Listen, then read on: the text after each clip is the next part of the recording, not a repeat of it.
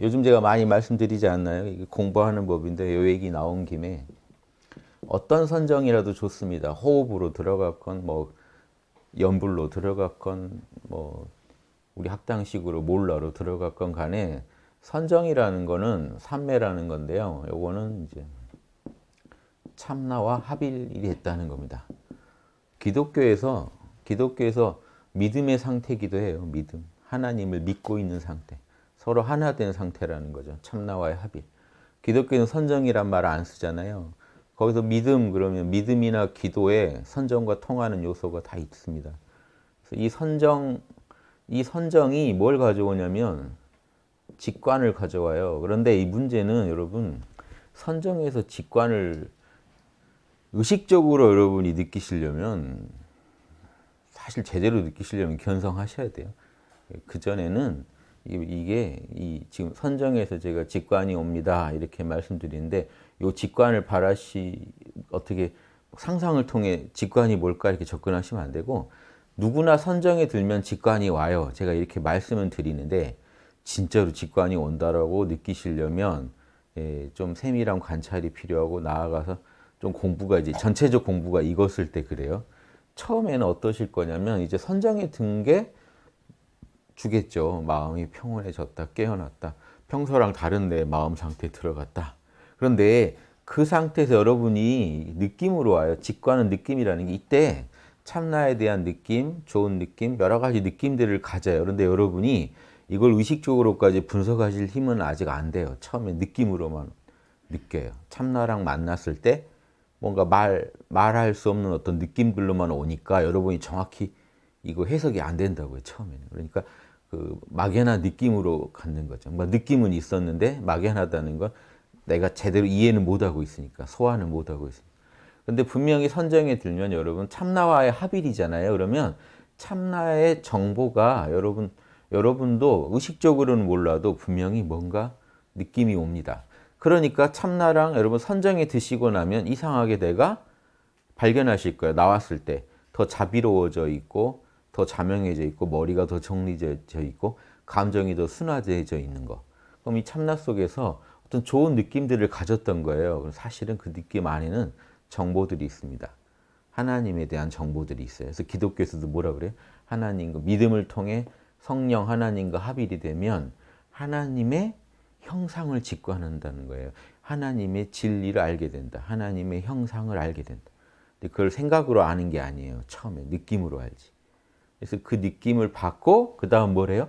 이걸 가지고 분석, 생각을 하는 거죠. 이제. 그러니까 지금 2단계에서 나중에는 2단계가 선명히 보여도 처음에는 선정에 들었다 바로 나오면 그냥 분석이 이렇게 되게 느껴지겠죠. 선정에 들었을 때는 뭔 잘 모르고 기분만 좋다가 황홀하다가 턱 나와 보니 이제 에고가 생 여기는 분석은 에고가 하는 거예요, 여러분. 에고가 하는데 이 에고가 참나의 기운 속에 사는 거예요. 지금 참나 깨어 있음이 제일 확실하려면 깨어 있음이 51% 이상 내 안에 흐르고 있으면 이 에고가 분석할 때 참나의 입장에서 분석을 해줄 수가 있단 말이에요. 내 에고가 51% 이상이면 에고 위주의 분석이 되니까 왜곡이 되겠죠. 체험했던 것도 왜곡이 되겠죠.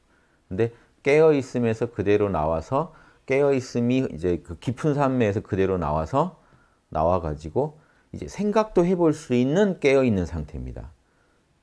이거 막 이렇게 접근하면 어려운 것 같은데 제 책에 보면 몰입에 드시면 몰입 4단계 가면 이렇게 희열이 일어납니다. 그럼 그 상태에서 몰입 사고를 하세요. 그 몰입 몰입의 기운 기운이 여운이 가시기 전에 마음이 그렇게 평온하고 어, 자명할 때 그때 생각을 하세요. 그냥 이거밖에 아니에요. 일반인들도 다 이해하시는 거예요.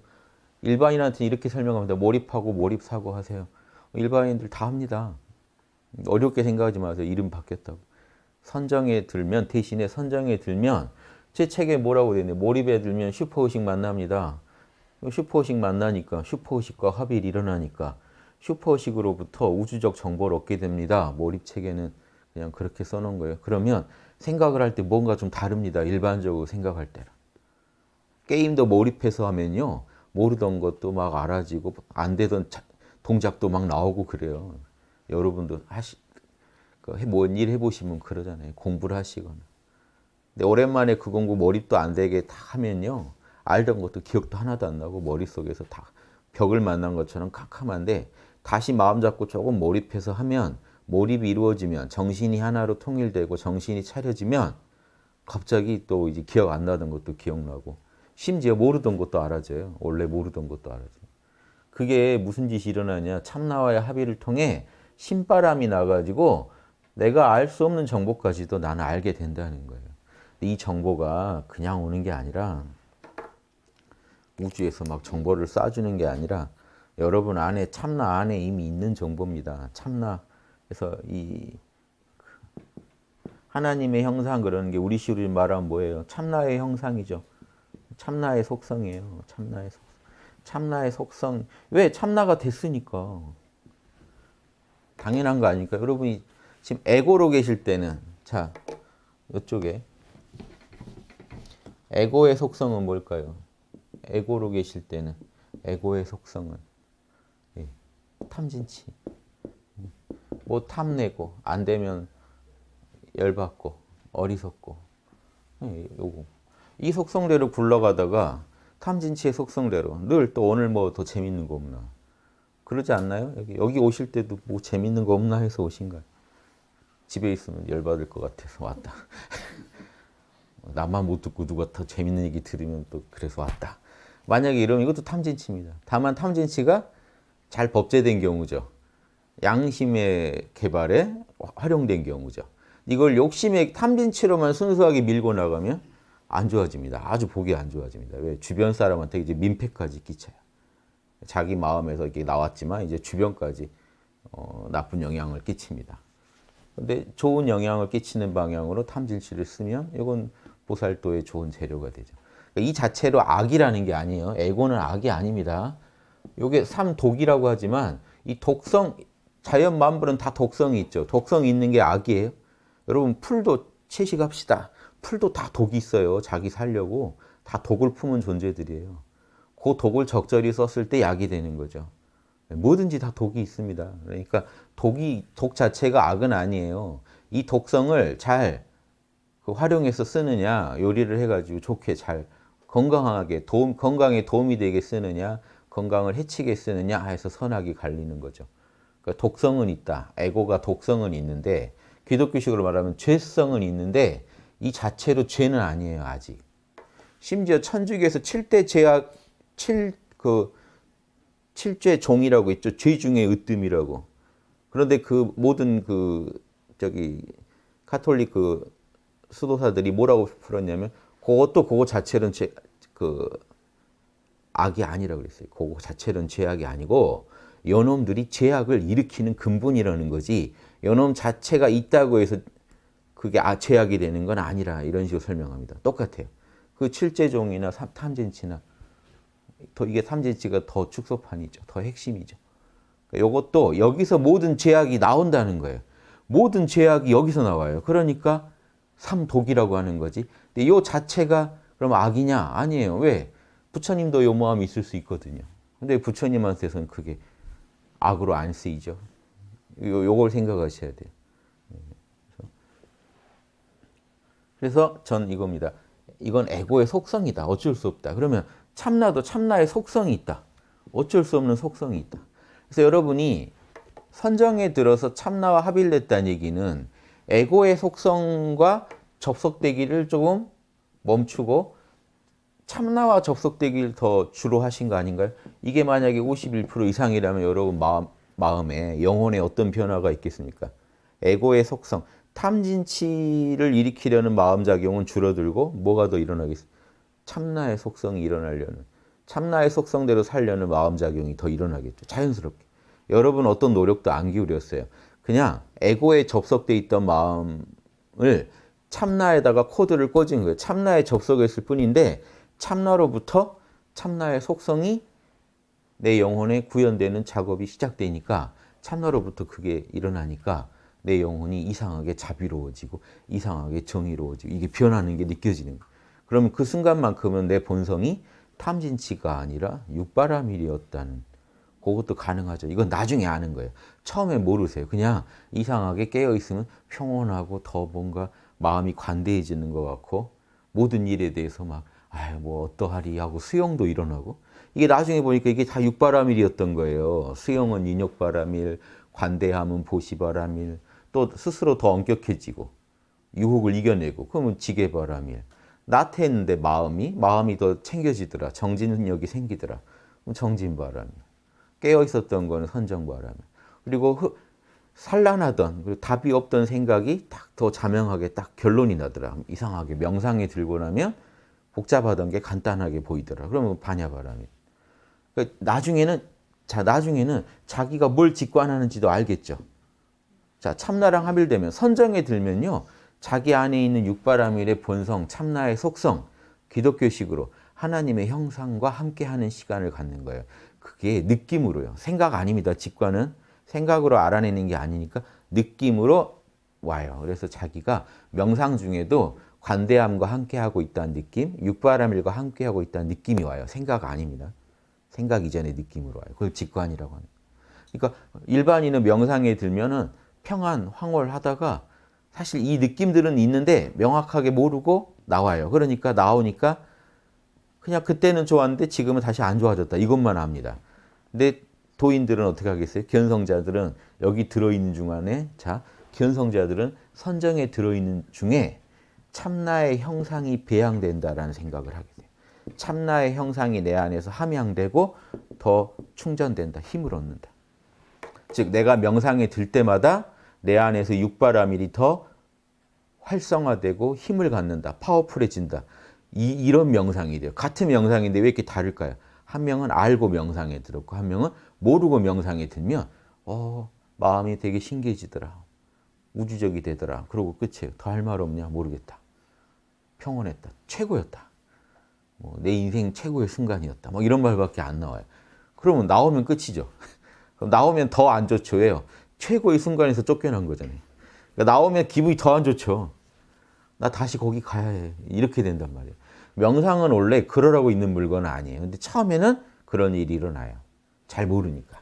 그래서 명상에 들었, 들었을 때 직관으로 이어진다고 제가 설명은 드립니다만 일반인도 다 직관을 하고 계시지만 이 직관의 솜씨가 너무 차, 차이가 나니까 일반인들은 사실 뭘 잘 못 느끼고 나오세요.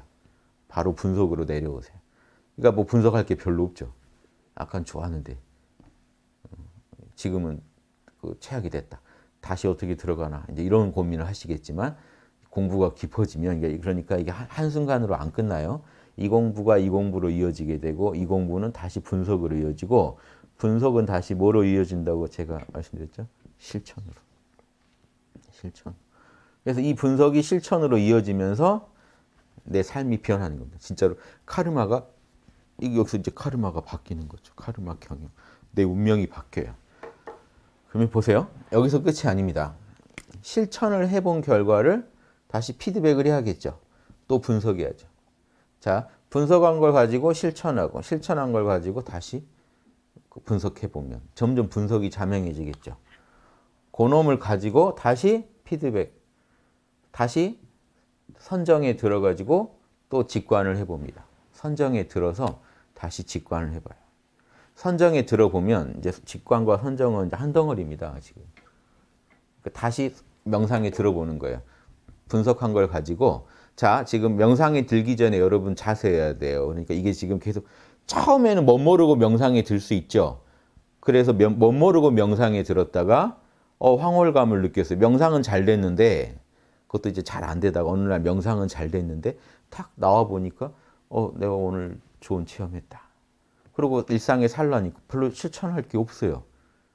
다시 되게 잘해가지고 여기 들어가겠다는 생각밖에 없습니다. 처음엔 그래, 그러겠지만 근데 저희 학당 강의 듣고 이론적, 이론적 개념도 세워서 분석하고 내가 무슨 체험을 했구나. 일상에서도 내가 조금씩 삶을 바꿔야겠다. 홍익학당 14조로 실천을 좀 해보자. 명상도 내가 해봤으니. 그래서 실천하고. 그리고 다시 실천, 그 14조 실천 얼마나 잘했는지 분석하고. 그러니까 지금 14조를 가지고 분석도 해보고 실천도 해보고 이렇게 하시겠죠. 그러다 보면 좀 더 관이 생기겠죠. 참나는 어떤 물건 아니야? 아공, 복공, 구공이라든가 이런 참나와 에고의 관계 이런 거에 대해서 좀 더 견해가 더 생기시겠죠. 분석된 내용이 있겠죠.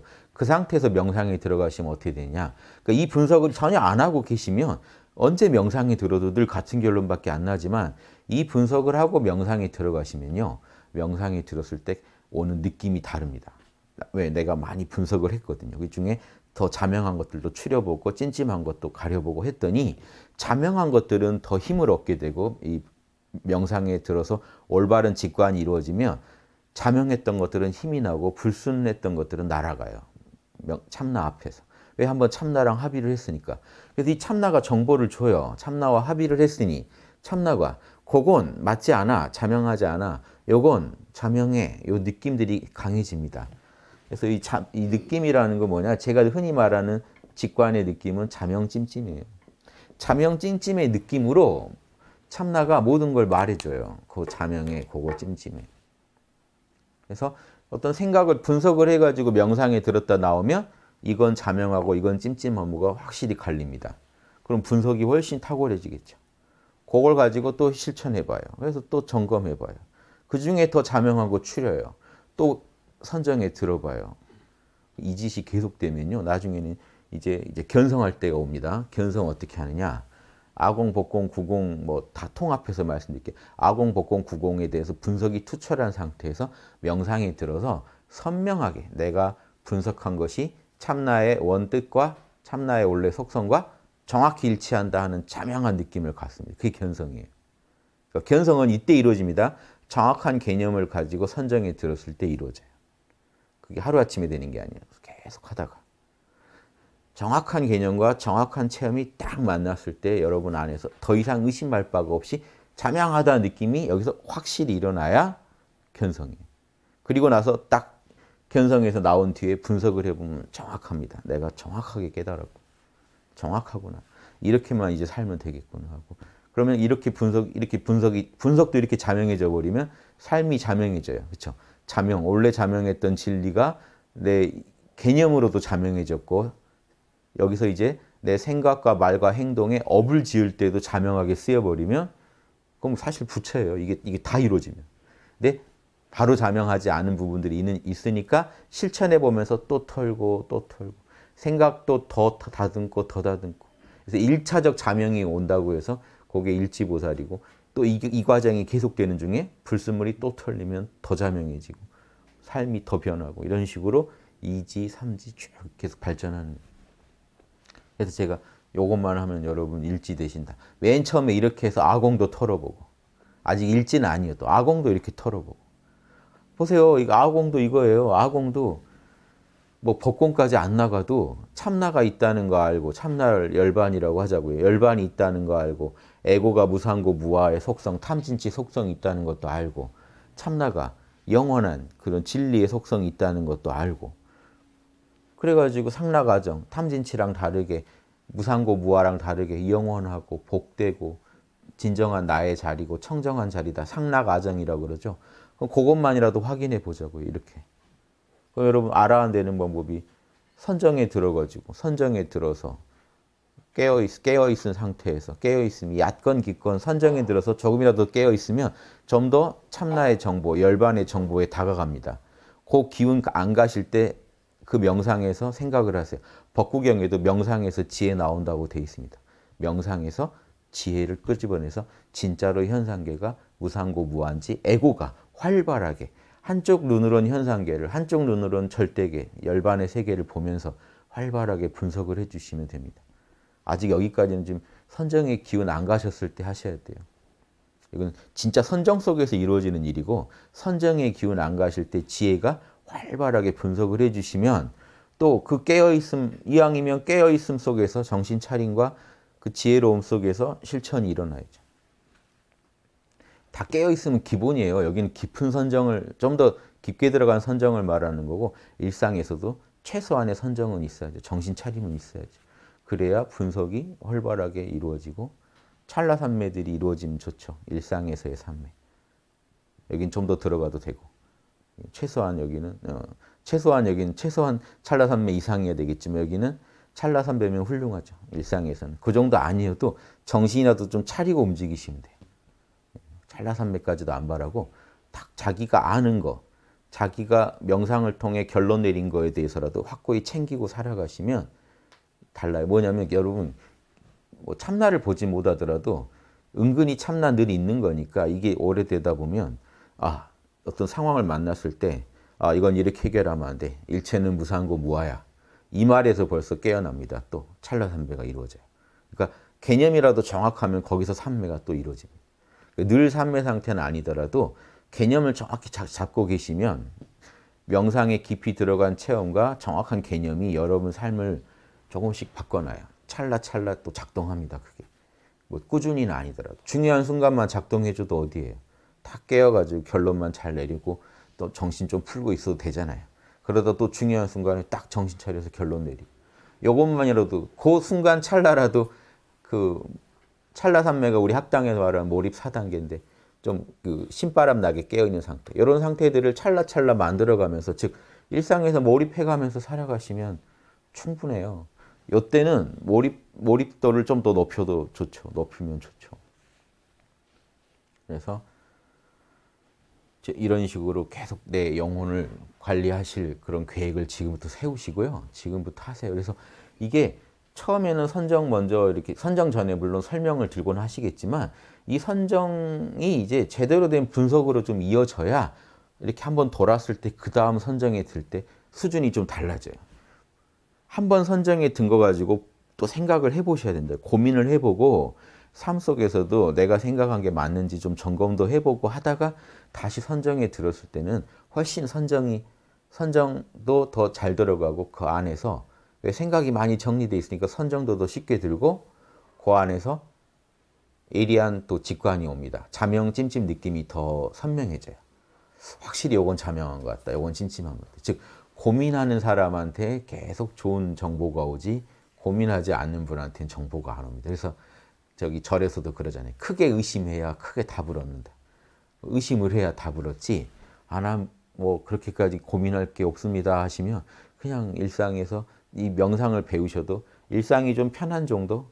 아플 때 좀 덜 아플고 외로울 때 좀 덜 외우고 어, 그것도 어디냐 하실 수는 있지만 그냥 그 정도 힐링이나 위안으로 활용하실 수도 있고 도를 얻으실, 얻으실 분은 명상에서 멈추면 안 돼요. 명상한 김에 직관과 분석 요게 지금 보세요. 선정에서 이런 좋은 일이 일어난다. 그러면요. 요거는 뭘까요? 요거는 반야잖아요. 반야. 직관과 분석은 합쳐서 반야. 지혜가 작동하면 선정에서 지혜가 작동하면 그럼 또 요 요 분석과 실천은 요게 또 계율입니다. 잘 따져 보면서 실천하는.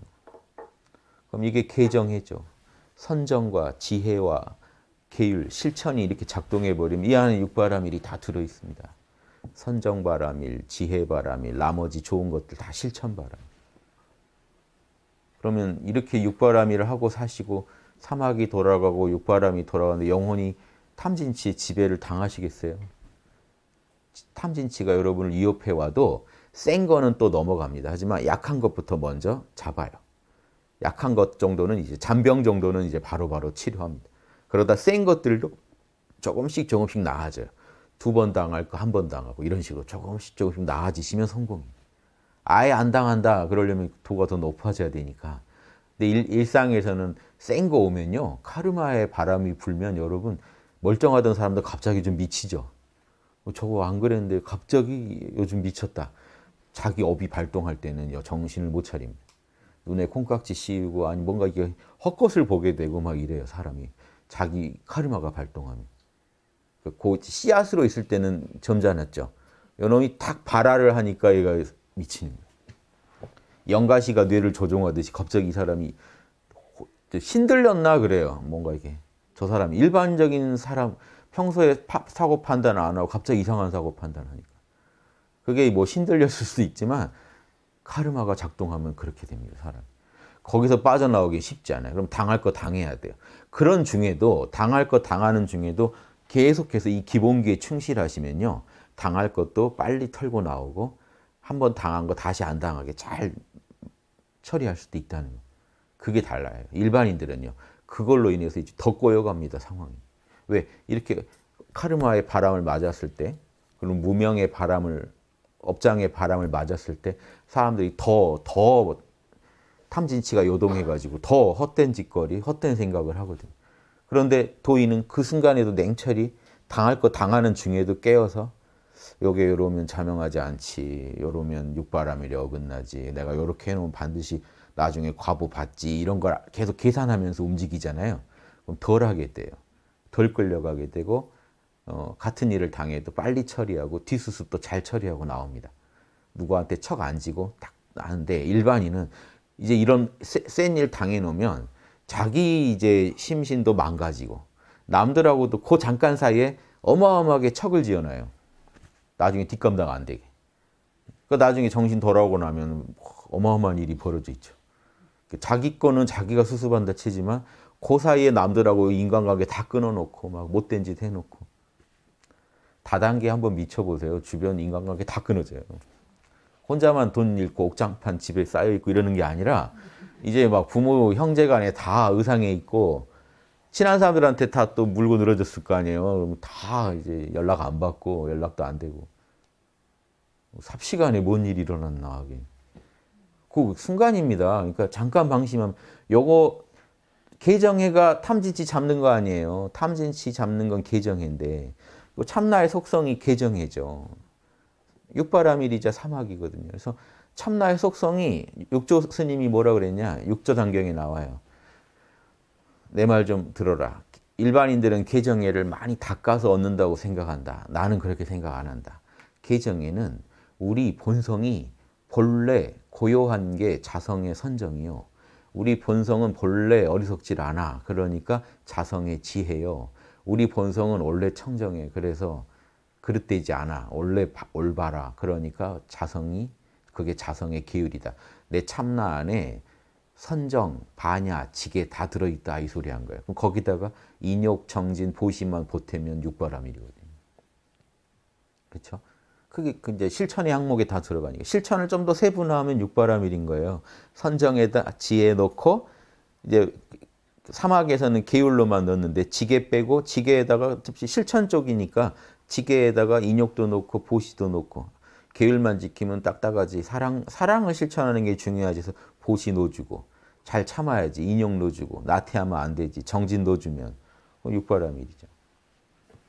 그래서 우리 본성 안에 있는 속성을 끄집어내서 자성의 계정애를 끄집어내서 우리 에고의 속성인 탐진치를 제압합니다. 탐욕을 뭐가 막아요? 계율이요. 분노를 선정이요. 어리석음을 지혜가요. 그럼 탐진치 요동할 때 계정에 같이 출동해 주면 어느 정도 진압이 된다는 거예요. 솜씨에 따라 또 다르겠지만 부처님 같으면 한 생각 일으키면 바로 진압이 되겠지만 일반인은 한참 애를 써야 돼요. 며칠 애를 써야 돼요. 그래도 진압을 시키면 여러분 그 하고 나면 뿌듯할 겁니다. 내가 큰 거 막았다. 내 인생에 온 아주 센 거. 잘못하면 큰일, 가족이 날아갈 뻔하고 내 인간관계가 다 파탄 날 뻔한 거 내가 막았다. 탐진치 오면 뭐 가정도 바로 휘청해지죠. 그러니까 그 순간순간 이렇게 막아가는 게 얼마나 귀합니까? 이게 도예요. 제대로 도 닦는 분들은, 보살도 닦는 분들은 가정에서 바로 자기 삶에서 그 도의 과보가 나옵니다. 먼 데서 안 찾아요. 뭐 우주 천하를 개벽해야지 그 자기 주변한테 잘하는 수밖에 없어요. 왜? 우리는 우주 천하인을 다 만날 수가 없습니다. 누굴 만나요? 평생. 자기 옆, 옆 사람들이. 강진강 선생이 천지공사를 해서 우주 개벽을 내가 인도하겠다. 천지 개벽 시키겠다 했지만 결국 강진강 선생이 평생 만난 분들은 누구죠? 그 동네 사람들, 동네 사람. 동네 사람들밖에 못 만났어요. 교화를 누굴 시켜요, 결국? 동네 사람들 교화시키는 거예요. 그렇게 생각하죠. 예수님요. 동네 사람들. 그 어부 몇, 거기 동네, 어부, 동네, 막 세리. 예, 그, 그거 생각하셔야 돼요. 그러니까 우리가 성인들은 뭐 엄청나고 우리는 뭐가 조건이 너무 안 좋다 생각하지 마세요. 우리도 지금 그 옛날 성인들보다 우리가 하루에 더 많은 사람들을 실제로 만나는 거, 뭐 페북으로 만나고 이런 SNS로 만나는 것까지 치면 교류하는 거 치면 훨씬 더 많이 할 수도 있어요. 지금 우리가 그때는 그런 것도 없었잖아요. 직접 얼굴 안 보면 뭐 대화라도 됩니까? 잘. 뭐 편지도 주고받고 할 수는 있겠지만 훨씬 열악한 사정이니까 그런 것들이. 그러니까 지금 우리가 훨씬 더 영향력을 끼칠 수도 있다. 이런 점도 보셔야 돼요. 물론 우리 이제 역량이 차이가 나서 뭐, 뭐 우주 개벽을 시키는 사람도 있을 거고 뭐 우리 가정 개벽을 시키는 사람도 있겠지만 그건 역량껏 하시면 되는 거고. 요거는 기본기는 똑같다. 그래서 선정에 처음 들었을 때 직관이 뭐가 되는지 모르셔도 좋아요. 그냥 자명한 느낌. 명상이 들면 뭔가 자명하고 평안하고 좀 황홀해요. 그런 느낌만 가져도 좋아요. 그 느낌을 가지고 분석해 보세요. 참나는 무엇이며 참나는 어떤 속성이 있고 에고는 무엇이며 또 어떤 문제점들이 있는지 잘 생각해 보시다 보면 그게 발전하면 아공이니 법공이니 구공이니가 되는 거예요. 나중에 나아가다 나아가다가 에고가 참나로부터 나왔느니 이런 큰 소리도 나오고 더 나아가서 참나가 육바라밀로 굴러가느니 그래서 나는 명상을 하면 내 참나가 다 내 안에 육바라밀이 있다는 게 직관적으로 자명하게 느껴진다까지 가시면 이제 일치보살도 보이는 거예요. 그러면 그 양반은 우주에서 알아야 될 거를 핵심은 다 알아내는 신분이에요. 더 우주에 도리가 있지 않아요. 이 육바라밀이 우주의 천변 만화를 일으키는 겁니다. 다른 거 찾지 마시고 간단한 도리를 정확히 아시는 분이 모든 일에 응용할 수 있지 복잡한 사례를 막 외우고 다니는 분이 도를 경영 잘하는 게 아니고요. 이니에지 신 해서 육바라밀 이런 이니에지 신의 오행, 오덕 정확히 알고 계신 분이요. 잣대가 동서남북만 알면 천지 방이 다 재고 다니죠. 동서남북을 모르고 재면 어려워요. 동서남북 모르고 방이 재보세요. 저기 청담동 어디 있어? 저기 압구정 옆에. 압구정은 어디 있어? 그, 그 옆에 어디에? 어디에? 어디에? 다 알고 계세요. 근데 머릿속이 얼마나 복잡합니까? 동서남북 딱 갈라놓고 탁탁 체크하면 쉬울 일을 어디 옆에 누구 있고 어디 옆에 누구 있고 이런 식으로 분석해 가지고 알아낸다는 건 어려워요. 그래서 내 마음 안에 좋은 덕이 많습니다. 뭐 정직, 신용 막 온갖 것 떠오르면요. 뭐, 뭘 어떻게 적용해요. 순간순간에. 찰나찰나 지금 여기서 선해 봐라. 그럼 막 여기서 뭐 어떤 정의로운 덕목. 그 어디 보니까 초등학교에서 가르치는 양심에 좋은 덕목만 50 몇 가지 되던데요. 50 몇 가지 그 외우시긴 하겠어요? 얼마나 간단합니까? 딱 인의지 신, 육바라밀, 딱그 여섯 개 잣대 자지고 다 재는데. 선인지 악인지 다 질 수 있는데 간단해야 돼요. 기준은 간단해. 그냥 동서남북만 있어도 돼요. 여섯 개를 더 줄이면은 그래서 유교에서 사단만 재기도 하는 거예요. 인해지.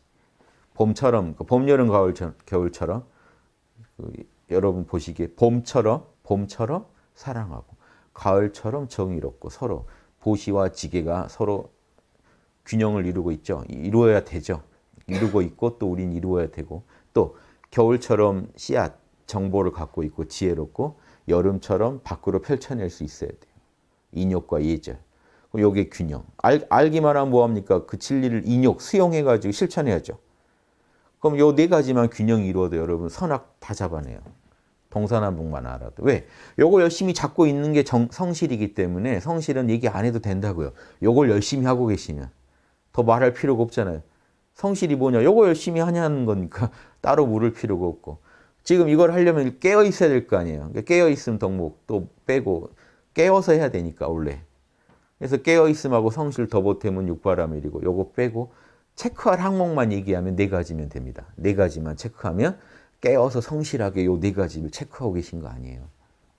이렇게도 얘기해 드릴 수 있어요. 그 네 가지만 부지런히 체크하시라. 명상에 들어서도 인의지 육바라밀, 분석도 인의지 육바라밀, 실천도 인의지 육바라밀. 이렇게 하시면 제일 깔끔하겠다.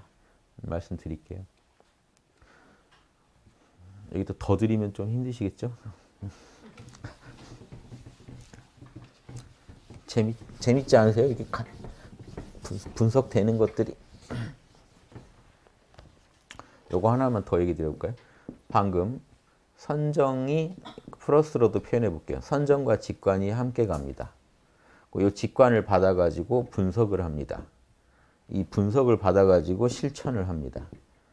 그러면 아무래도 이 직관을 가지고 선정에서 육바라밀에 대한 자명 찐찜의 좋은 느낌을 받고 거기에 대해서 분석을 할 때는 이론적 분석을 하게 되겠죠. 이론적 보편 법칙의 분석.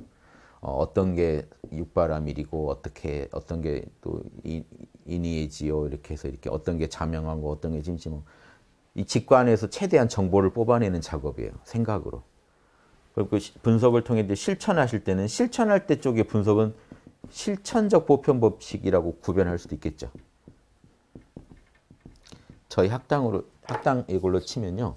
실천 지침은 좀 맛이 다르죠. 실천을 예비해서 분석한 거거든요.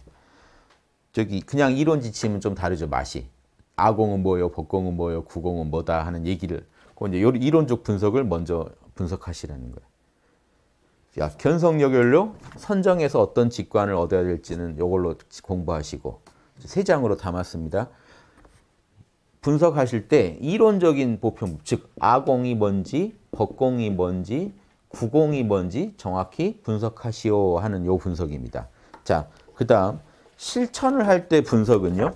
그러니까 아공은 어떻게 실천하고 법공은 어떻게 실천하고 구공은 삶에 어떻게 실천해야겠다 하는 요 분석입니다.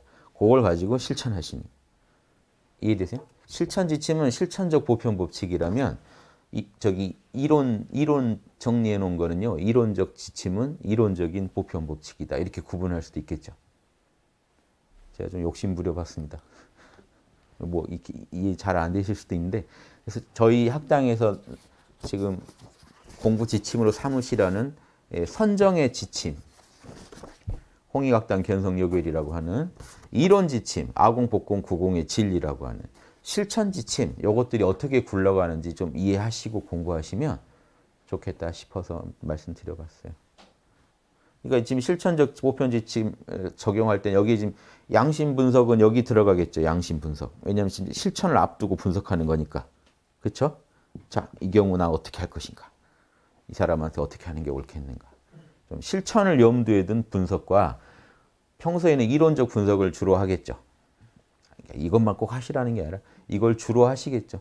명상에서 평소에 실천을 염두에 두지 않고 이렇게 어떻게 어떻게 내가 살아야겠는가, 뭐 아공, 법공, 구공은 뭔가 이런 걸 위주로 하신다면 실천을 앞두고는 구체적으로 어떻게 실천할지에 대해서 좀 더 이쪽에 주안점을 두고 분석하시지 않겠냐 이겁니다. 평소에도 뭐 이론만 분석하시라는 건 아니고 이쪽에 좀 더 주안점을 두고 분석하시다가 실천을 하시려면 좀 더 실천을 염두에 둔 분석을 좀 더 하셔야겠죠. 굳이 나누자면 이렇게.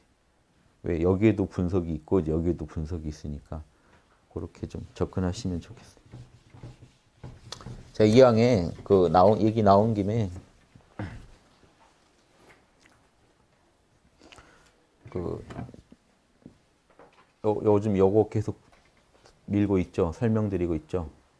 나온 김에 제가 여기 우리 참나 육바라밀이 들어있다면 그 좀 그림을 좀그 정밀하게 설명드리고 싶어가지고 제가 좀 그림을 좀 더 정밀하게 한 두 장 만들어 봤어요. 두 장이 뭐냐면 한 장이 제가 양심, 욕심, 선, 악 같이 써드리고 급하니까 한 장에 같이 그려드렸는데 이러면 좀 헷갈리실 것 같아서 혹시 안 헷갈리셨나요? 예. 좀 의문을 가지신 분이 계실 것 같아서 이런 거예요. 자, 이쪽을 양심으로 놓고 이쪽을 욕심으로 놓으면 아까도 말씀했지만 욕심 자체는 악이 아닙니다. 그러니까 이렇게 양심이 쌓여가고 욕심이 쌓여간 중에 이 중간선 이게 지금 여기가 원래 여름이면 겨울이고 야, 음이 양이 제일 쪼그라들었고 음이 크니까 이쪽이 여름이고 하지고 동지고 춘분 추분점이 있겠죠. 요 선 넘 낮밤 길이가 같다고 하는 춘분 추분점. 자, 요, 요 선을 넣으면 제가 늘 얘기한 51% 이상이죠. 이때 선이 되지 않겠어요? 요, 요, 예. 아니 이 자, 양심 자체는 늘 선이에요. 늘 선인데 지금 뭐냐면 음, 욕심이 있잖아요. 욕심과 상대적으로 말할 때는 욕심이 지금 이렇게 치고 올라오는데 여기 선인데 보세요. 이 부분에서는 선이 이 정도인데 욕심이 지금 이 정도면 욕심이 선 넘었잖아요. 그럼 욕심은 선 넘으면 악이 됩니다. 즉 악과 선의 이 대결에서 지금 악이 돼버린 욕심을 양심이 못 막고 있죠. 그럼 내 마음 전체적으로 뭐가 된다고요? 이때, 이때 선이고 이때 악이다라고 우리가 설명드리는 게 맞겠죠. 무슨 말씀인지 아시겠죠? 양심은 원래 선입니다. 사실 양심 원래 선인데 양심과 욕심을 딱 이렇게 비교해서 보자는 거예요. 그러면 내 마음에서 양심은 미약한데 욕심이 큰 상태. 요거는 악의 이미 지고 있는 상태죠. 마음 상태가. 이해되시죠? 이 자체는 선이에요. 뭐 욕심 자체는 악은 아니에요. 다만 욕심이 51% 이상 선을 넘으면 이때는 악으로 변합니다. 근데 악이 이만큼인데 양심이 이만큼 쪼그라들어 있으면 요거는 이 마음은 총체적으로 뭐예요? 악이죠. 지금 악이 지배하고 있어요. 그리고 선이 이 정도, 선한 양심이 이 정도 치고 나갔고 욕심이 꼭 악은 아니지만 욕심이 있는데 쪼그라들어 있는 상태. 이때는 지금 확실히 선이죠. 요 정도 분석까지 해야 좀 정밀하겠죠. 욕심과 양심, 욕심 자체는 선이 아닌데 양심이 넘지 말아야, 말아야 돼라고 제시한 선을 돌파한 거잖아요. 양심보다 힘이 크면 위험합니다. 보세요. 간단해요. 그냥 별 마음 아닌데 아 나 이거 갖고 싶어. 그럼 갖고 싶을 수 있죠. 이게 뭐 죄인가요? 갖고 싶어. 근데 양심이 그래요. 이거 네 거 아니야. 근데 나 너무 갖고 싶어. 그 영화에 그 뭐죠? 가오갤 영화의 너, 그 너구리 같은 애. 너구리가 아니었는데. 라쿤이라 그랬나? 걔. 어, 걔, 걔, 그, 좀, 외, 외계인데, 이해를 못해요. 이거 내가 갖고 싶은데 가져도 돼? 그래, 영화에서. 그러니까 옆에서. 어, 그럼 안 되지. 니게 아니잖아. 근데 주인보다 내가 더 갖고 싶은데? 음, 약간 망, 헷갈리게 해요. 아, 그래도 안 돼. 그건 악이야. 그러니까 이게, 이게 뭐냐면 간단해요. 이거 갖고 싶어. 그냥 욕심입니다. 그럼 이거는 이 욕심은 갖고 싶은데 이게 남의 거예요. 그래서 갖고 싶은데 되게 욕심은 있는데 욕심은 이렇게 잘하는데 양심은 안 넘어요. 그 갖고 싶지 갖고 싶은 건 사실인데 내 건 아니니까 안 갖는 거죠. 그럼 이 사람은 지금 양심이 이겼잖아요. 그럼 좀 욕심은 있었죠. 찜찜한 요소는 있지만 탐진체 요소는 있지만 선으로 결론이 났잖아요. 그럼 요거는 선심이 더 주가 됐겠죠. 그럼 선한 업을 짓겠죠. 물론 찜찜한 요소, 악의 요소가 혹시 있었다면, 왜냐하면 속으로 주인을 주인 몰래 한번 훔쳐봐, 한번 이런 이건 분명히 악이 될 만한 생각도 했을 수 있죠. 그 찜찜의 요소는 체크된다 치더라도 악으로 카운트된다 하더라도 전체적으로 지금 선이 이겼 기 때문에 선업이 더 큽니다. 이해되시죠? 더 디테일하게 들어가면 중간중간에 한 좀 잘못된 생각들이 악의 요소를 이룰 수는 있죠. 그러니까 이루겠죠. 그런데 미미하죠, 아직. 왜냐하면 결론이 어떻게 났어요? 선으로 결론 나서 끝났으니까. 미미할 때 잡았어요, 찜찜이. 그러니까 악에 카운트 될 만한 요소가 있겠지만 0.01, 0.02 할 때 잡았단 말이에요. 그런데 만약에 똑같은 마음인데 별마음 아닌데 갖고 싶어요. 근데 주인은 별로 필요 없어 하는 것 같아요. 내가 더 갖고 싶은 것 같아요. 나한테 있어야 될 것 같아, 얘가. 점점 망상이 폭주합니다. 그냥 원래 내 건 것 같아요. 이 사람한테 잠시 맡겨놨지 내 건 것 같아요. 그래서 그냥 가졌어요. 그럼 이때는 악이 됐잖아요. 그러니까 악과 선이 이게 정밀하게 안 보면요 분석이 잘 안 돼요. 헷갈려요 이게.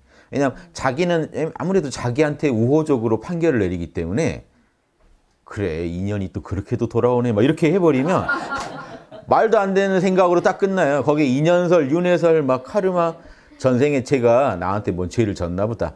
딱 이번에 나한테 이거 뺏길 운이었나 보다. 막 이러면요. 망상이 금방 뭘 만들어내요. 근데 그 말이 맞을지도 몰라요. 혹시 전생 인연 따지면.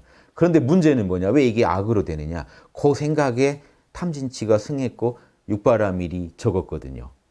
그건 변명을 못합니다. 그래, 네 인연 때문에 그런 것도 맞는데 아무튼 너는 카르마에 끌려가 가지고 육바라밀보다 탐진치를 더 중시했어. 그러면 할 말 없겠죠. 뭐 그렇다면 할 말 없습니다. 그래도 전생에 제 거였는데 막 이런 이상한 할 수는 있지만 선악 판정을 이렇게 하지 않은 한 정당한 판정이 있을 수 있겠어요 우주에 전생 따지고 막 하면 엄청 복잡하겠죠. 근데 그거 다 불문하고 따질 수 있는 게 있어요. 지금 이 순간 당신 알 거 아니냐 이거죠. 탐진치가 승하냐 육바라밀이 승하냐 누가 이겼냐 이거예요. 그건 확인하라는 여기서 이기다 지다 하는 중에 찜찜한 요소 생긴 거, 선한 요소 생긴 거 다 그건 우주가 카운트 해줄 거다. 그거 차, 차치하고 그 중에 누가 이겼느냐. 음, 요거 자기가 알아요. 어떤 마음으로 했는지 자기가 안다고요. 누가 이겼는지. 욕심도 있었어요. 욕심도 있었지만 욕심이 상대방을 해롭게 하는 선은 못 넘게 해가지고 자기가 잘 갈무리, 갈무리 해가지고 선이 51% 이상 이기게 해가지고 딱 썼어요. 이분들이 보살입니다. 욕심이 올라오는데 욕심이 아주 없으면 제일 좋겠죠. 그런데 센 게 올라오는데도 51% 이상 막았다. 약한 거는 더 막아야죠. 약한 것인데도 꼭 51%만 맞추고 계신 분들은 좀 이상한 분이죠. 아니 다 이겨낼 수 있는데도 꼭 맞춰요. 49%는 챙겨야 돼서요. 그렇게 하면 안 되고 너무 하고 싶고 너무 카르마에 땡기는 것들이 일어날 경우는 51%라도 꼭 막으세요라는 의미로 제가 양심 51% 그럽니다. 할 거, 그러니까 도저히 나 이거 안 하고 못 살 것 같아. 그럼 하세요. 하더라도 49% 선에서 어떻게든 막아보세요. 양심이 아무리 봐도 내 양심이 내 안에서 더 헤게모니를 잡고 있다는 그 선을 넘지 않게 해보세요. 그러면 선악이 여기서 판정이 나겠죠. 자, 마음을 이렇게 분석하면 선을 했는지 아, 악이 이겼는지가 나오고 그 과정에서 선의 요소가 또 얼마나 있었고 악의 요소가 얼마 있었는지 알겠죠. 욕심은 악이 아니, 악이라고 안 본 겁니다. 근데 욕심 중에 좀 선을 넘은 욕심들은 악이라고 보고 이렇게 서로 좀 따져볼 수도 있겠죠. 여러분 이거 다는 못 따지세요. 근데 이제 따져보자면 이렇게 따져볼 수 있다는 거지 매사에 이렇게 따지면 아마 정신, 정신병 걸리실 거예요. 근데 자기 역량껏 따져보세요. 그 중요한 일만큼은 꼭 따져보세요. 따져보는 실력을 길러야 되거든요. 자, 요게, 요 그림 하나가 있어요. 그래서 양심, 욕심, 선, 악 이렇게 써진 그림 하나가 학당에 앞으로 나갈 겁니다. 미리 예고 드린 거예요. 저희 학당 또 직원분이 멋지게 그래픽을 해가지고 지금 그려놓은 게 있어요. 원래 한 장만 그렸다가 제가 요구를 해서 두 장을 만들었어요. 또 한 장은 뭐냐? 그러니까 이렇게 해가지고 아 이게 선, 악 이제 애초에 선 악입니다 여기는 이게 이제 선이 카운트 되겠죠 플러스 1 플러스 1 하면서 마이너스 1 마이너스 악이 카운트 되겠죠 이쪽은 그러니까 자명 이쪽은 찜찜한 거. 자, 여기, 여기에 카운트 되는 건 애초에 시작부터 악인 거예요. 시작부터 악인 것들이 쌓여가는 부, 그림입니다. 시작부터 선인 게 쌓여가는 그림이에요. 아까 양심 욕심하고 다르죠. 아까 양심 욕심은 어느 선을 돌파했을 때 선악이 되는 구조라면 그래서 선이 된 거, 악이 된 거. 그리고 선의 요소, 악의 요소가 이제 집계되는 모습입니다. 내 마음에서. 이게 단기적으로 보면, 단기적으로 보면 이런 거예요. 단기적으로도 볼 수 있어요. 아까 그 그림에 준하게. 지금 아까 양심이 확 치고 올라왔고 욕심이 치고 올라온 중에 욕심이 일으키는 악의 요소가 나를 지배하는 요 부분하고 선의 요소가 지배하는 부분을 가지고 단기간에 내 마음 변화에서도 선악을 따져볼 수 있고 단기적으로, 장기적으로 어떻게 따져보시면 돼요? 편하게. 내가 그렇게 한번한 번씩 선이 이길 때마다 이쪽이 카운트되고 악이 이길 때마다 이쪽이 카운트되며 선이 이겼더라도 악의 요소가 좀 있었을 때는 이쪽에 좀 작게라도 카운트가 되고 있다. 이렇게 장기적으로 보시면 이해가 되죠. 단기적으로 보면 아까랑 비슷한데 아까는 양심 욕심의 대결로 분석했고 선과 악의 대결로도 분석하실 수 있잖아요. 여러분 마음. 네, 그렇게 해서 제가 또 요 두 장을 만들고 나니까 또 욕심이 나서 다시 디자인하는 우리 직원분한테 또 요구했습니다. 두 장을 합쳐달라. 또 합쳐서 보내왔더라고요. 나중에 공개, 공개해 드릴게요. 합치니까 이렇게 돼요. 자, 보세요. 양심, 욕심. 이렇게 올라가면 선. 이렇게 많이 내려오면 악. 선악이 갈라지면 이제 선, 악. 선, 자명, 악, 찜찜. 그래서 이렇게, 이렇게 쌓여가는 그림들 그려져 있어요. 어떠세요? 이해 좀 되세요? 이두 그림 합쳐놓으면 짱이죠. 또 의견이 나왔어요. 밖에 하나 더 원을 만들자. 그럼 뭘 만들까 이제? 육도, 인간계, 천상계, 수라계, 축생계, 지옥계, 악이계 이렇게 해서 선이 많이 쌓이면 삼선계로 위로 갈 거고 악이 더 포인트가 많이 쌓이면 아래로 가겠지. 어떠세요? 인간의 영혼에서 인간이 어떻게 육도를 도는가까지 그려낼 수 있다고요. 재밌지 않으세요? 저희 뭐 이러고 놀아요. 이것도 막 카페에서 혼자 막 제가 그려가지고 바로 요즘 너무 좋아요. 스마트폰이 있어서. 이것도 카페에서 제가 두 장으로 그린 다음에 바로 라인에 보내서 이거 좀 만들어 달라고 하니까 또 만들어져서 또, 또 바로 날아와가지고 또 바로 확인해보고 점검 서로 하다가 욕심 나서 두 장 합쳐보자고 했다가 또 그림 또 보내 또 주셔가지고 제 학당에 다 공개할 겁니다. 지금 좀다더 다듬어서 하려고 제가. 근데 지금 그 뭐 원리는 뭐 더 바뀔 게 없으니까 미리 말씀드린 거예요. 이해되세요? 내 마음을 이렇게까지 보실 수 있겠어요. 이렇게 돌아가겠구나는 거라도 아시면 좋고 양심 분석하는 이유를 좀 이렇게 찾아보시라고. 우리가 이렇게 양심 분석을 해야 되냐 명상을 해가지고 내 양심 내 욕심 중에 누가 승한지를 보자는 거예요 먼저. 근데 양심이 승한다 그러면 악의 요소는 있더라도 어쨌다는 거예요? 일단 결론은 선으로 맺었다는 거예요. 안심 좀 더 안심이 되죠.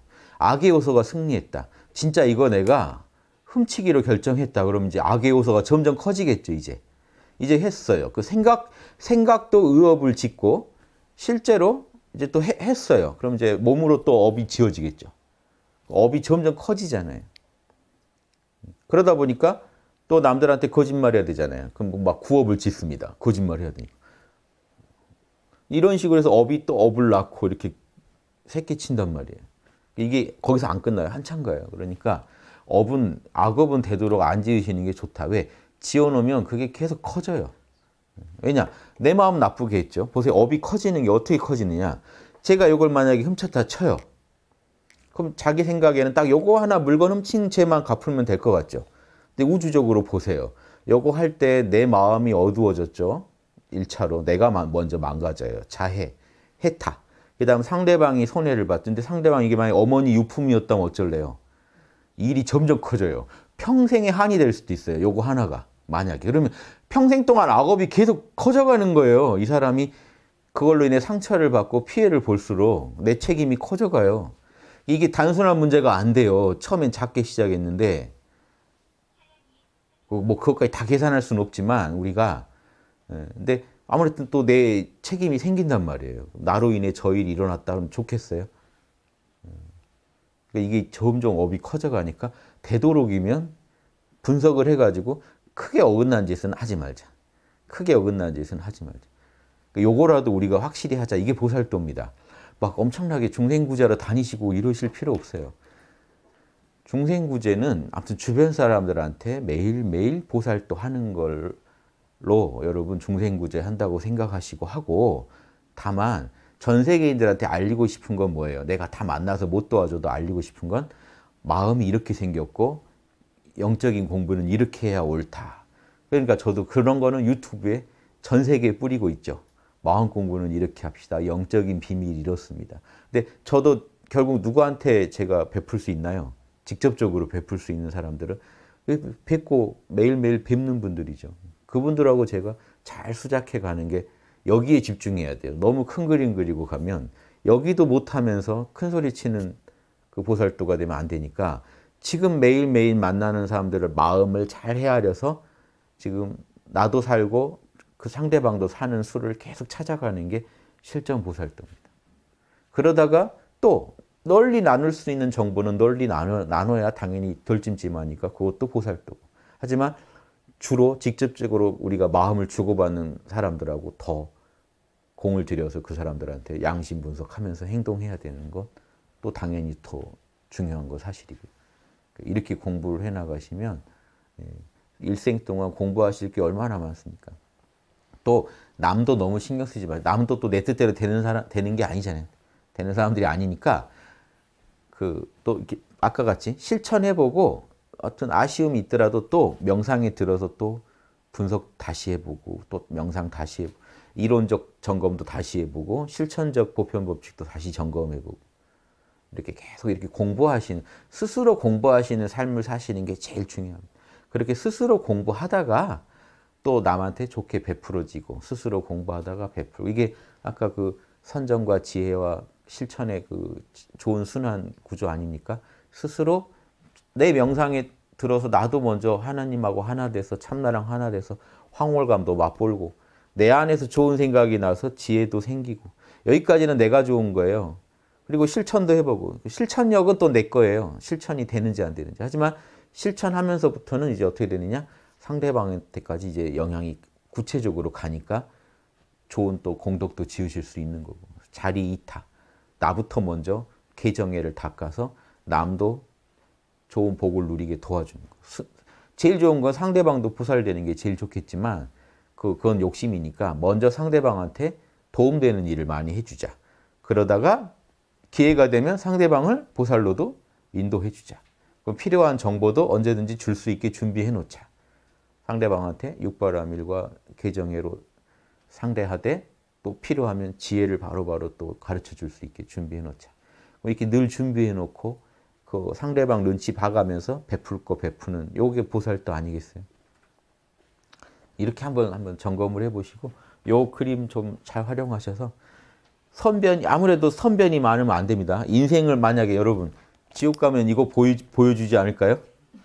저 신과 함께를 보면 딱 갔는데 선변이 딱 이 정도면 어떡하실래요? 악은 이 정도고 뭐 뭐 할 말이 없지 않나요? 그러면 어 이거 내 역서 좀 봅시다 그러면 쫙 보여주면 어떡해요? 악한 것만 계속 인생에서 그것만 편집해가지고 악마의 편집입니다 막 이러실 거예요. 선한 것도 좀 선한 내역 좀 봅시다 그러면 그몇 건 안 나오고 그러면 요거는 얄짤없거든요. 그럼 사막도에서 골라야죠. 악이 할래, 축생 할래, 지옥 할래. 축생으로 태어나도 부잣집에 상팔자로 가려면 복을 좀 지어야 되지 않을까요? 안 그러면 아마 길, 길을 막 헤매고 다니다 쓸쓸하게 길에서 이렇게 사냥도 제대로 못 해가지고 막 굶주리는 뭐 쓸쓸하게 죽어가는 축생이 될 수도 있어요. 아니면 뭐 이렇게 보시나 해라 하고 지금 어딘가 막 축산 막 그런데 막 대규모 하는데 가가지고 막 잠도 못 자고 막 그것도 바로 잡아야죠. 그러니까 그 이런 육도윤회도 인간이 관여할 수 있는 부분이 있잖아요. 축생계가 어떻게 어떻게 자리매길지는 우리가 인간이 관여할 수도 있다. 마찬가지로 다 관여할 수 있어요, 실제로는. 축생계는 우리 눈에 바로 보이죠. 지옥계, 악의계는 우리가 관여 못 할까요? 우리가 여기서 만약에요, 이 마음 공부를 해가지고 계속 지옥을 보내면 지옥도 바뀌겠죠. 이상하게 이제 지옥에 왔는데도 이제 기본을 알고 와요. 어느, 어느 날부터. 그럼 좀 염라대왕도 생각이 바뀔, 어, 이렇게 좀 다르게 대해야겠는데, 이제 기본은 알고 오는데, 예전에는 기본도 모르고 왔는데, 이제는 딱 갔는데, 너 왜 먼저 지었지? 얘 찜찜해요. 뭐뭐뭐가 찜찜했어요. 안 그래도. 들어갑시다 하고 이제 탕에 뛰어들고 막 이러면 약간 바뀌지 않을까요? 지옥도? 이런 식으로 하는 게 옳은가? 그래서 저 적합한 중생 수준의 맞춤형 또 지옥이 나올 겁니다. 저는 다 가능하다는 주장이에요. 인간계도 바꿀 수 있죠. 축생계 바꿀 수 있어요. 축생들의 대우. 뭐 자연 그대로 놔두는 게 제일 좋겠죠. 축생계. 근데 인간이 망친 거라도 바로잡아 줄 수는 있겠죠. 그래서 어, 또그 이런 요소들 천상계 또 인간이 이제 깨달은 자들이 천상에 가면 또 어떻게 될까요? 예전에는 복만 많이 지어서 왔는데 잘 모르고 그좀 졸부 같죠. 육바람이는 잘 모르는데 복만 많이 지어서 와가지고 복을 줬더니 애가 영 꼴불견으로 놀아요. 그런데 어느 날부터는 이제 육바람이를 알고 오더란 말이에요. 못해서 그렇진 알고 오더라. 이게 전체적으로 바뀝니다. 그래서 이, 이 축생과 인간의 관계도 바뀌고 축생의 삶의 질도 또 바뀔 수 있고 이게 다 지금 우리가 관여할 수 있는 세계라는 것도 아셔야 돼요. 그래서 우리가 순간순간 양심, 욕심이 일어나는 거 요거 간과하면 안 된다는 거예요. 나 하나라도 간과하면 안 되고 돌아가는 데서 이쪽에 힘을 실어주고 이쪽 변을 많이 쌓아놓으면 인류 전체에도 내가 분명히 긍정적 도움을 준다. 이거 나, 나 혼자만의 일이 아니다. 이렇게 생각하신다면 좀 제대로 아마 우리가 우리, 우리의 마음의 구조도 이해하신 거고 이 우주의 구조도 함께 이렇게 잘 고찰해 본게 되는 게 아닌가 싶습니다. 예, 오늘 여기까지 하겠습니다. 예, 마치겠습니다.